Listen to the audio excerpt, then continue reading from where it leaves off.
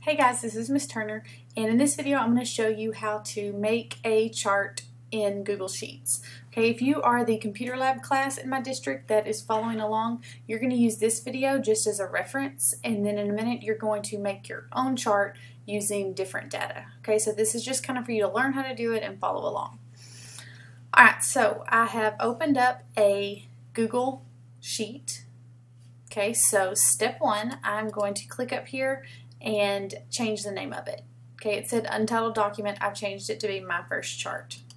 Okay, step two, I like to put in A1 what the title of my whole graph is.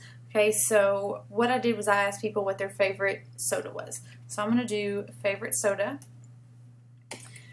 Okay, and then step two, or step three, sorry, I am going to list the choices that I gave them. Okay, so in A3, I'm going to put drinks, and now I'm going to list the choices.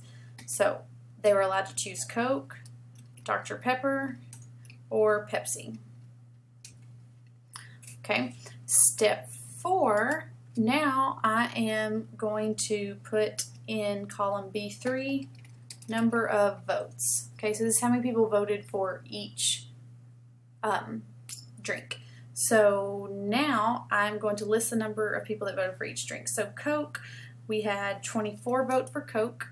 Dr. Pepper, we had 27 vote for Dr. Pepper. And Pepsi, we had 19. Okay, so this is called your data. Um, and I have all my data entered in. So now I'm ready to make my graph. Okay, what I'm going to do is I'm going to highlight starting with drinks. I'm going to go down to Pepsi, down to my last choice, and then over to the bottom of my data. Okay, and so I have all this highlighted. Next, I'm going to click Insert, Chart. Okay, and I want to make a bar graph chart. So I click bar graph and this is what it looks like. Okay, the only thing that I don't like about it is it says number of votes first drinks and I really want this to be titled favorite soda or favorite soda survey.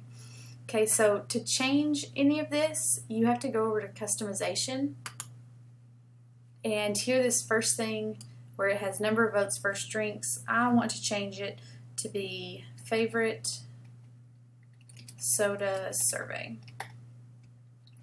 Okay, here you can also change the size, change the color, italicize it, any other thing you want. Okay, and I'm going to click insert when I'm done. And there's my graph. I can make it smaller, I can make it bigger. Um, you can go in and actually change the color